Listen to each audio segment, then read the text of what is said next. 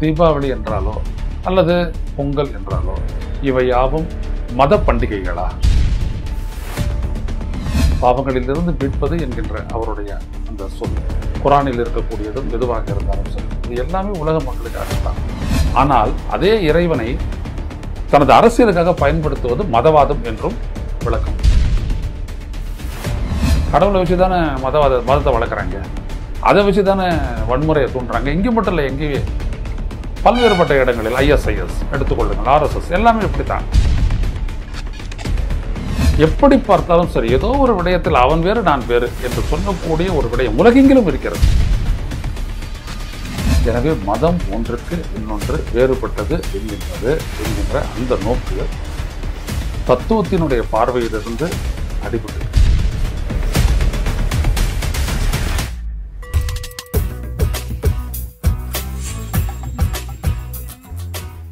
வணக்கம் தோழர்களே. ரோஸ்டர் செய்திகளின் வாயிலாக உங்களை மீண்டும் சந்திப்பதில் பெருமகிழ்ச்சி அடைகின்றேன். தீபாவளி. அகமகிழ்ந்து உங்களுடைய குடும்பத்தாரோடு குழந்தைகளோடு பெற்றோரோடு உற்றார் உறவினரோடு நண்பர்களோடு சிறப்பாக கொண்டாட வேண்டும் என்று உங்களை வாழ்த்துகிறேன். உங்கள் அனைவருக்கும் எனது தீபாவளி நல்வாழ்த்துக்கள். ஒவ்வொரு பண்டிகையும் மனிதனுடைய வாழ்க்கையில் ஒரு நம்பிக்கையையும் மகிழ்ச்சியும் தருகிறது. நம்பிக்கை என்று சொன்னால் இந்த பண்டிகை ஒரு தொடக்கமாக இருக்கட்டும்.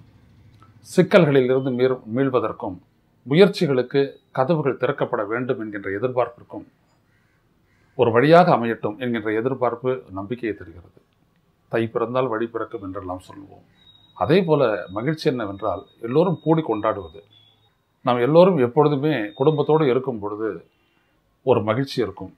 அது பண்டிகை என்று வரும்பொழுது அதுவும் குறிப்பாக தீபாவளியை பொறுத்தவரை இந்த குழந்தைகள் காட்டக்கூடிய உற்சாகம் பட்டாசு வெடிப்பதிலிருந்து புத்தாடை உடுத்துவதிலிருந்து மேலும் உற்றார் உறவினரை சந்திக்கும் சந்தி சந்தித்து பேசச் செல்லும் பொழுது இதுவெல்லாம் அவர்களுக்கு அந்த ஆண்டிலேயே ஒரு புது உலகத்தை உருவாக்குகிறது. அவர்களுடைய மகிழ்ச்சி தான் நமது இல்லங்களில் பெரியவர்கள் எல்லாம் அமைதியாக பார்த்து மகிழ்வதற்கு அடிப்படையாகின்றது. கொண்டாட்டம் என்னவோ அவர்களுடையது தான் நமக்கெல்லாம் சாப்பாடோடு சரி. ஆனால் அவர்களுக்கு எல்லாமே உற்சாகம் தரக்கூடியது. ஒரு பட்டாசை கொண்டு வெடிக்கும் பொழுது ஏராளமான தடைகள் எல்லாம் இருக்கின்றன. அந்த பேச்சுக்கள் இருந்தாலும் கூட நாம் வெடிக்கத்தான் போகின்றோம். இரண்டு மணி நேரம் வெடிக்கத்தான் போகிறார்கள். அவர்கள் தயங்கி தயங்கி நெருங்கி சென்று ஒரு வெடியை அதனுடைய திரியில் தீயை மூட்டும் பொழுது அதனை பயத்துடன் செய்யக்கூடிய அந்த காட்சியை அதை நாம் தூரத்தில் இருந்து பார்க்கும் பொழுது அது நமக்கு ஒரு மகிழ்ச்சியை தருகிறது. அதே போல புத்தாடை உடுத்தி கொண்டு நமது குடும்பத்தினுடைய உறுப்பினர்கள் அனைவரும் வலம் வருவது மேலும் மகிழ்ச்சியை தருகிறது. ஆனால் இவை அந்த மாதிரி பட்டாசு வெடிப்பது உள்ளிட்ட சிற்சில நிகழ்வுகளில் எச்சரிக்கையாக இருக்க வேண்டும். அது மிக மிக முக்கியம். அந்த எச்சரிக்கையோடு இதை நாம் கொண்டாடுவோம். இதோடு நான் உங்களோடு இன்னொரு விடயத்தையும் நான் விவாதிக்க விரும்புகிறேன். அது தீபாவளி என்றாலோ அல்லது பொங்கல் என்றாலோ இவை யாவும் மத பண்டிகைகளா என்கின்ற ஒரு கேள்வியை எழுப்பி நாம் விடைகாண வேண்டும். இதை முஸ்லீம்கள் கொண்டாடுவதில்லை கிறித்தவர்கள் கொண்டாடுவதில்லை. மற்றவர்கள் தான் கொண்டாடுகிறார்கள். எனவே ஜைனர்களும் இந்து என்று சொல்லக்கூடியவர்களும் அந்த வரையறைக்கு உட்படுத்த உட்படுத்தப்பட்டு வாழக்கூடிய அந்த மக்களும் தான் கொண்டாடுகிறார்கள். எனவே இது மத பண்டிகை என்று தான் குறிப்பிடப்படுகிறது. ஆனால் உண்மை என்ன? இந்த தீப ஆவளி என்கின்ற பண்டிகை இந்த கொண்டாட்டம் எங்கிருந்து தொடங்குகிறது என்று பார்த்தால் அது மகாவீர் அவர்களினுடைய வாழ்க்கையில் அவர் முக்தி பெற்ற அந்த நாளை குறித்து ஜைனர்கள் கொண்டாடி அது பிறகு பெரிய லட்சுமி பூஜை என்றும் பிறகு பட்டாசு எடுத்து கொண்டாடக்கூடிய பூஜையாகவும் பிறகு நரகாசுரனை கிருஷ்ணர் வீழ்த்திய நாள் என்றும் எப்படியெல்லாமும் சொல்லி கொண்டாடுகிறார்கள். ஆனால் அடிப்படை என்ன என்று பார்த்தால் இறைவனோடு மனிதன் ஒன்றாதல். And union with the divinity divine being என்பதுதான் அதனுடைய அடிப்படை. எனவே அந்த நாளில் ஏதோ ஒரு வகையில் நாம் இறைவனை வழிபடுகின்றோம். கற்பிக்கப்பட்ட காரணங்கள் எதுவாக இருந்தாலும் மூல காரணம் என்பது ஆத்மனும் பரமாத்மனும் ஒன்றிணைவதுதான் அந்த நாளினுடைய இந்த கொண்டாட்டத்தினுடைய தொடக்கமாக இருந்த தத்துவார்த்த ரீதியான ஒரு உண்மை. எனவே இந்த நாள் மிகவும் முக்கியமானது. இது எல்லோருக்குமே பொருந்துமே. ஆத்மனை பொறுத்த மதம் எதுவும் இல்லை. ஆத்மா பரமாத்மா மனிதனுக்கும் இறைவனுக்குமான அந்த உறவை மறுத்த மதங்கள் என்று எதுவும் இல்லை. எல்லாம் அதைத்தான் சொல்லுகின்றன வெவ்வேறு பெயர்களில். பரமனை வழிபடுகின்றோம் சிவனை வழிபடுகின்றோம் முருகனை வழிபடுகின்றோம் கிருஷ்ணரை வழிபடுகின்றோம் ராமனை வழிபடுகின்றோம். வழிபடும் பொழுது அந்த ஆத்மனினுடைய விழிப்பு. அதுவே நமக்குள் ஏற்படக்கூடிய இறைவனை நோக்கி ஏற்படக்கூடிய பக்தி. இப்படி இது பொதுவாகத்தான் இருக்கிறது. ஆனால் கடவுளின் பெயர்களை அல்லாஹ் என்றோ தேவன் என்றோ பல்வேறு வகைகளில் குறிப்பிடப்படுகிறது. அதனாலேயே பண்டிகைகள் எல்லாம் மத பண்டிகைகள் என்று ஆகாது. கிறிஸ்துவனுடைய பிறப்பு உலகத்திற்கே தானே விழிப்புணர்வை தந்தது.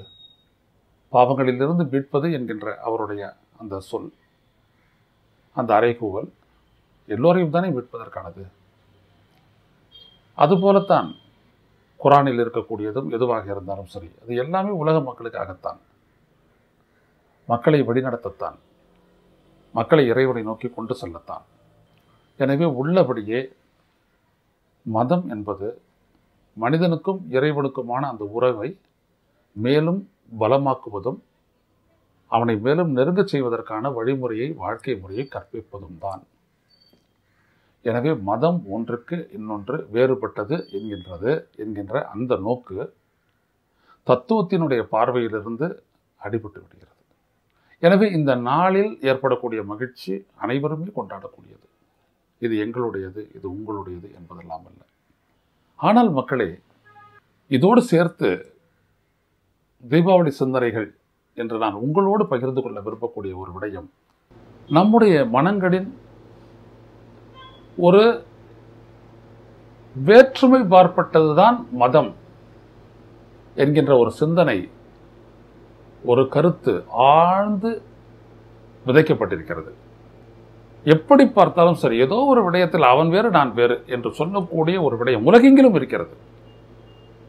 கருப்பு வெள்ளையாக இருந்தாலும் சரி இல்லை இங்கே இருக்கக்கூடிய மற்ற மற்ற மத ரீதியான வேறுபாடுகள் இருந்தாலும் சரி சாதி ரீதியான சாதிய பார்வையாக இருந்தாலும் சரி மனிதர்களிடையே ஒருவரிடமிருந்து தங்களை வேறுபடுத்தி காட்டிக்கொள்ள வேண்டும் என்பதற்காகவோ காட்ட வேண்டும் என்பதற்காகவோ ஒரு அடிப்படை உலகெங்கிலும் ஏதோ ஒரு வடிவத்தில் இருந்து கொண்டு தான் இருக்கிறது. அதை யாரும் மறுக்க முடியாது நாமும் மறுக்க முடியாது நாம் பார்த்து கொண்டுதான் இருக்கின்றோம்.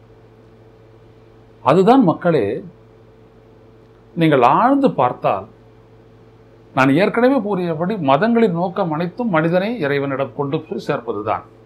யோகம் என்கின்ற வார்த்தையே அதுதான். இவர்கள் யோகா என்று எதையோ சொல்கிறார்கள். அது ஹத யோகம். உடலை பயிற்சியின் மூலம் பக்குவப்படுத்துவது என்பது ஹத யோகம். ஆனால் யோகம் என்கின்ற வார்த்தைக்கு யூனியன் ஒன்றாதல் என்றுதான் பொருள். இறையோடு ஒன்றாதல். பரமாத்மனுடன் ஆத்மன் ஒன்றாதல். அதுதான் யூனியன் அதற்கான முயற்சி தான் நாம் ஒரு யோக பாதையில் எடுக்கக்கூடிய தியானமோ அல்லது கர்மயோகம் என்று சொல்லி செயலில் எடுக்கக்கூடிய அந்த முயற்சிகளோ ஆகும். இவையாவும் பொதுவானவை தான் இதில் யார் வேண்டுமானாலும் ஈடுபடலாம்.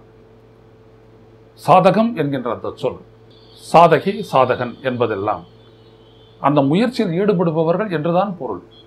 ஸ்ரீ அன்னை அரவிந்தர் சுவாமி விவேகானந்தர் ராமகிருஷ்ணர் வள்ளலார் பெருமான் என்று இந்த ஆன்மீக வழிகாட்டிகள் அனைவரும் அந்த பாதையை அனைவருக்குமானதாகத்தான் திறந்து வைத்திருந்திருக்கிறார்கள். அனைவருமே வந்திருக்கிறார்கள். அவர்களோடு இணைந்திருக்கிறார்கள்.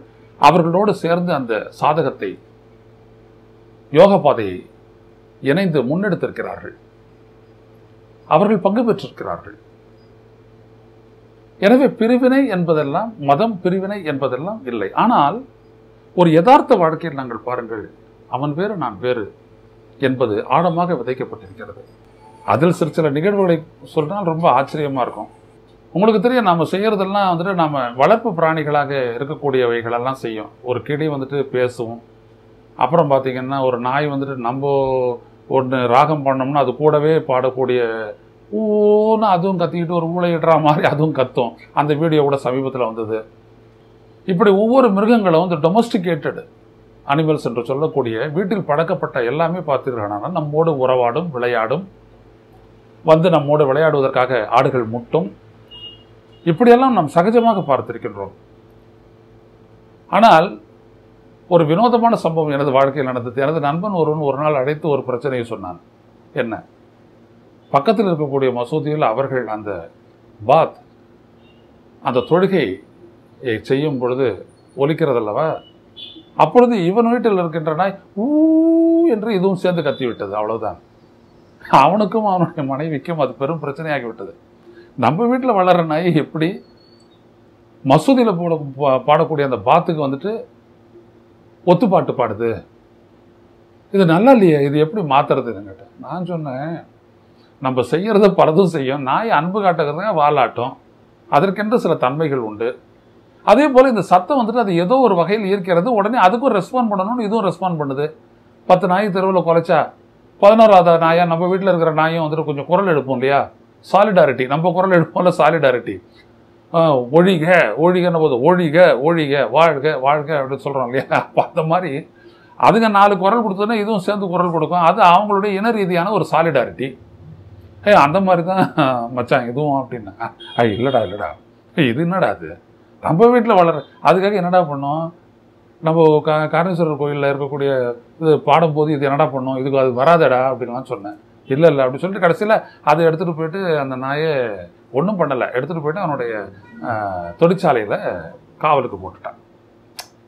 எதுக்கு நான் சொல்ல வரேன் அப்படின்னோம்னா மிகச்சிறந்த மனிதன் என் நண்பன் நண்பன். ஆனால் அவர்களுடன் இருந்து நான் வேறுபட்டவர்கள் என்கின்ற ஒரு எண்ணம் என்பது பொதுவாக மக்களிடையே இருக்கிறது. இந்த பார்வை என்பது ஏராளமான சிக்கல்களை உண்டாக்குகிறது. சாதாரணமாக மானுட வாழ்வு உழைப்பினாலும் உழைப்பினால் விளையக்கூடிய உற்பத்தியாலும் உற்பத்தியை பகிர்வதாலும் அதை நன்கு பகிர்ந்து எல்லோரும் சந்தோஷமாக இருப்பதிலும் இருக்கிறது. இதுதான் கவர்னன்ஸ் என்று அரசுக்கு சொல்லக்கூடிய வார்த்தையே. ஆட்சிமை என்பது இதுதான். மேன்மையான இந்த வாழ்க்கையை கட்டி காப்பதும் மக்களினுடைய மகிழ்ச்சியையும் மக்களினுடைய உரிமைகளையும் தொழிலையும் பாதுகாப்பது தான் ஆட்சியோட வேலை. வெறும் அதிகாரத்தை வாங்கி எல்லாத்தையும் எடுத்துகிட்டு போயிட்டு கார்ப்பரேட் கிட்ட கொடுத்துட்டு இருக்கிறதெல்லாம் வித்து தின்னுட்டு போகிறது அல்ல. ஆட்சிமை என்பது கவர்னன்ஸ் என்பதுக்கு அர்த்தம் இதுதான். ஆனால் எதெல்லாம் சட்டம் ஒழுங்கு பிரச்சனையில் இல்லை வாழ்க்கை பிரச்சனைன்னு எல்லாமே மாறுதுன்னு பாருங்களேன். நம்ம காமத்துக்கு கடைசியில் வருவோம். அது அது வேறு. மிஸ்கன்சீவ்டு அது வேற. அது எந்த அளவிற்கு வந்துட்டு தவறாக கொல்லப்பட்டு அது நம்ம ஈர்த்து வேறு விதமாக கொண்டு சென்று பெரும் பிரச்சனைகள் எல்லாம் உண்டாக்குகிறது என்பது ஒன்று ஆனால் ஒரு ஒட்டுமொத்த சமூக வாழ்வில் இலக்கு என்னவோ ஆன்மீகம் தான். ஆன்மீகம் என்பது ஆன்மாவிற்காக தன்னை ஈகம் செய்வது என்று சொன்னார் அரவிந்த் அன்னை. ஆன்மா ஆன்மாவிற்காக இறைவனுடைய அந்த ஒளிக்கீற்று நமது இதயத்தின் ஆழங்களில் ஹிருதய குகையம் அங்கே இருக்கிறது அல்லவா அதனுடைய வேட்கைக்கு தனது வாழ்வையே அர்ப்பணிப்பது என்பது ஆன்மாவினுடைய ஈகம் என்று சொன்னார். அது தன்னையே இறைவனுக்கு அர்ப்பணிக்கிறது. அதாவது இறையினுடைய நோக்கில் வாழ்வது இறைக்காக காரியங்களை செய்வது அந்த நோக்கில் அரசியலும் செய்யலாம். எங்களை போன்றவர்களுக்கு அப்படித்தான். ஆனால் அதே இறைவனை தனது அரசியலுக்காக பயன்படுத்துவது மதவாதம் என்றும் விளக்கம் விளக்கம் பிடிக்கிறது கடவுளை வச்சு தானே மதவாத மதத்தை வளர்க்குறாங்க. அதை வச்சு தானே வன்முறையை தூண்டுறாங்க. இங்கே மட்டும் இல்லை எங்கேயே பல்வேறுபட்ட இடங்களில் ஐஎஸ்ஐஎஸ் எடுத்துக்கொள்ளுங்கள் ஆர்எஸ்எஸ் எல்லாமே இப்படித்தான். அப்போது மெய்யான நோக்கம் ஆன்மீகம் தான் ஆனால் பொய்யான பாதை தான் மதவாதம். மதவாதம் மதம் அல்ல மதவாதம். நான் எனது வீட்டில் எப்பொழுதும் ஆன்மீகம் தொடர்பான அரவிந்தரனுடைய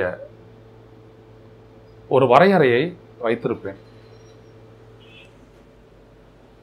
இதுதான் அது.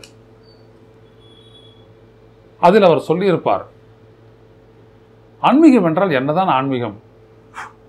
என்று வரும்பொழுது அவர் அதில் சொல்லியிருப்பார் ஆன்மீகம் spirituality spirituality is not high இன்டெலி intellectuality பெரிய உயர் அறிவுலாம் கிடையாது. நாட் ஐடியலிசம் ஒரு உன்னதம் என்றும் கிடையாது. நாட் அன் எதிக்கல் டன் மனம் ஒழுக்கத்தின் பாதை செல்வதா? அதுவும் கிடையாது. ஆர் மாரல் பியூரிட்டி தூய்மையா? செயல் மன சிந்தனை தூய்மையா? அல்லது ஆழ்ந்து எல்லா காரியங்களையும் சுத்தமாக செய்வதா? அதுவும் கிடையாது. அல்லது ஒரு எக்ஸால்ட்டட் எமோஷனல் ஃபெர்வர் ஒரு உள்ளிருந்து எழுந்த ஒரு உணர்ச்சியினுடைய தாக்கமா என்றால் அதுவும் இல்லை. Not even compound of all these excellent things இப்படிப்பட்ட உன்னதமான எல்லாமே சேர்ந்ததும் கூட கிடையாது. பிறகு ஸ்பிரிச்சுவாலிட்டி ஆன்மீகம் என்பதுதான் என்ன? Spirituality is in its essence and awakening to the inner reality of our being நாம் நமது அக உண்மையை அறிந்து உணர்வதுதான் ஆன்மீகம். அதாவது ஆன்மாவை உணர்வதுதான் அந்த விழிப்புணர்வை பெறுவதுதான் தொடக்கம். சொல்லிவிட்டு அவர் பீயிங் அதாவது spiritual spirituality is in its essence and awakening to the inner reality of our being to a spirit self soul which is other than our mind life and body நமது மனமோ உடலோ அல்லது வாழ்க்கையோ தாண்டி இருக்கக்கூடிய அக வாழ்க்கைக்கு அடிப்படையான அந்த ஆன்மா. And inner aspiration to know அது என்னவென்று தெரிந்து கொள்ளக்கூடிய அந்த ஆர்வம் டு ஃபீல் அதனை உணர்வது டு பி தட் அதாக ஆவது to enter into contact with the greater reality நம்மையும் தாண்டி இப்பிரபஞ்சத்தில் இருக்கக்கூடிய நமது தனித்த உணர்விலிருந்து அந்த பிரபஞ்ச உணர்வை உணர்வது விச் பர்வேட்ஸ் யூனிவர்ஸ் இந்த பிரபஞ்சத்தை அப்படியே ஊடுருவி இருக்கக்கூடிய அந்த உண்மையை to be in communion with it அதோடு தொடர்பு கொள்வது அதோடு ஒன்றாதல் and union with it and a turning அதை நோக்கி திரும்புவது எ கன்வர்ஷன் மாறுவது எ டிரான்ஸ்ஃபர்மேஷன் ஒரு உருமாற்றம் ஆஃப் அவர் ஹோல் பீயிங் நமது மொத்த ஜீவனையும் மாற்றிக்கொள்வது as a result of that aspiration அந்த உணர்வின் காரணமாக எழக்கூடிய அந்த ஆர்வத்தினால் நாம் நம்மை மாற்றிக்கொள்வது மாறுவது அதை நோக்கி திரும்புவது அதை தொடர்பு கொள்வது அதோடு ஒன்றாது ஒன்றாவது. A growth or waking into a new becoming or new being a new self a new nature இதுதான் கடைசியானது. அவ்வாறு அந்த ஆர்வத்திலிருந்து எழக்கூடிய அந்த முயற்சியின் மூலம் அதனை தொடர்பு கொள்வது அதோடு ஒன்றிணைவது அதில் வளர்வது அதில் வ- விழிப்புணர்வு பெற்று ஒரு புதிய தொடக்கத்தையும் ஒரு புதிய உணர்வையும் ஒரு புதிய இயற்கையையும் எட்டுவது இதுதான் ஆன்மீகம் என்கின்றார். இப்பொழுது சொல்லுங்கள் மக்களே இதில் எந்த இடத்திலாவது மதம் என்ற சொல் வந்ததா? சொல்லுங்கள். மிக ஆழமான வரையறை. யாராவது மதத்தை பற்றி பேச வந்தால் இது இதில் நீ எந்த இடத்தில் மாறுபடுகிறாய் என்று சொல் என்று நான் கேட்பேன். வாழ்க்கை எல்லாம் உன்னதமான விடயங்களால் நிரம்பி இருக்கிறது. ஒரு இயற்கையை காணும் பொழுது ஒரு விவசாய நிலத்தை காணும் பொழுது அங்கே விளையாடும் குழந்தைகளை பார்க்கும் பொழுது நீர்நிலைகளை பார்க்கும் பொழுது பறவைகளை பார்க்கும் பொழுது மழை பொழிவதை பார்க்கும் பொழுது காற்று அடிப்பதை பார்க்கும் பொழுது குழந்தைகளோடு கொஞ்சக்கூடிய அந்த நேரத்தில் மனைவியோடு உலாவக்கூடிய அந்த சூழலில் நண்பர்களோடு நாம் சந்தோஷமாக மதுவு மதுவை தவிர்த்து பழகும் போது பேரறிவாளிகளிடம் முன்னால் நின்று நாம் அவர்கள் சொல்லக்கூடிய அவர்கள் பகிரக்கூடிய அனுபவங்களை கேட்கும் பொழுது எல்லாவற்றிற்கும் மேலாக தனிமையில் நமக்குள் ஆழ்ந்து சென்று இறைவனோடு அந்த இறை உணர்வை தொடுவதற்கு நாம் மேற்கொள்ளக்கூடிய முயற்சியின் போது கிடைக்கக்கூடிய அந்த அமைதி இவை யாவும் உன்னதமான விடயங்கள் அல்லவா? இவை அனைத்தும் அனைவருக்குமானது அல்லவா? இதில் எங்கே மனிதனுக்கு மனிதன் ஆண் பெண் என்ற பிரிவினைக்கு இடம் இருக்கிறது இது எல்லாருக்கும் பொதுவானது அல்லவா எல்லோரும் அந்த நிலையை எட்டலாம் அல்லவா எனவே இதை தடுப்பது அனைத்தும் நாம் புறந்தள்ள வேண்டியது. இதை அழைப்பது அனைத்தையும் நாம் ஏற்றுக்கொள்ளத்தக்கது. வாழ்க்கை என்பது மக்களே திரும்பி பார்த்தால் நமக்கு இன்பம் தருபவன எல்லாமே நிகழ்வுகள் தான். துன்பம் தருபவன நிகழ்வுகள் தான். நிகழ்வுகளை பற்றிய நினைவுகள் தான் நமக்கு தனிமையில் நமது வாழ்க்கையை அர்த்தமுள்ளதாக்கக்கூடிய நினைவுகளாக நமக்கு வருகின்றன. எனவே அப்படிப்பட்ட ஒரு நினைவுகளை தரக்கூடிய நினைவு கூர்ந்து நாம் மகிழக்கூடிய நிகழ்வுகளை தரக்கூடிய ஒரு நாள் நாளை தீபாவளி. அந்த நாளை இறை நோக்கத்திலிருந்து அந்த ஆழ்ந்த பார்வையுடன் அனைவரோடும் நாம் எல்லாம் ஒரே ஆன்மாவினுடைய பிள்ளைகள் இறைவனுடைய பிள்ளைகள் என்ற உன்னத உண்மையை உணர்ந்து கொண்டாடி மகிழ்வோமாக. மீண்டும் சந்திப்போம். நன்றி. வணக்கம்.